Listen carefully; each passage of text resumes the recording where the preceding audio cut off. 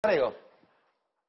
Volevo chiedere a Parigi se si rende conto che l'introduzione della flat tax, ad esempio, sarà un classico elemento che si scaricherà sulla qualità dei servizi. No, Perché diminuiremo il gettito fiscale e lì avremo dei problemi generalizzati. Non è vero perché è previsto, Sant'Agata, è previsto... dire- No, le spiego perché Eh. no.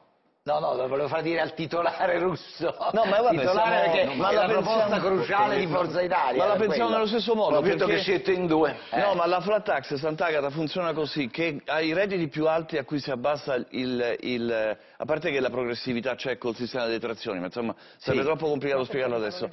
Il- il- i- ai redditi più alti a cui si abbassa l'aliquota eh, non si garantisce più la sanità gratuitamente, quindi affluiranno, Ah, ecco. affluiranno Quindi- al finanziamento del sistema sanitario sistemi assicurativi e mutualistici. Vabbè, facciamo entrare il mercato nella soldi. sanità, quello che E ho detto io, né più né arrivano- meno. a Un quindi attimo, un arrivano attimo, più un attimo, vi soldi, i Eh. ricchi possono pagarsi l'assicurazione E la pagano, non hanno bisogno di pagarsi Cioè, la sanità pagano meno tasse, ma si E dovranno ai pagare poveri lasciamo in una sanità di serie. B. Così, Russo, così si fatemi andare da Russo. istituzionalizzerà Eh. la, la sanità di serie A dice per questo è i il ricchi rischio. e la sanità di è serie B così, per i ma è poveri. già così, e, e quindi lo istituzionalizziamo, no, è lo rendiamo legale. Posso- quindi è giusto che i cosa, poveri scusi, muoiano e i ricchi invece si paghino l'assicurazione Eh, a caro prezzo. vado da Paolo E Russo, Mi dispiace, senso- stare in un paese significa Sì, veramente intanto- dover no, no, contribuire mi- tutti mi quanti permetto di dire sommessamente, è già successo altre volte, seguendo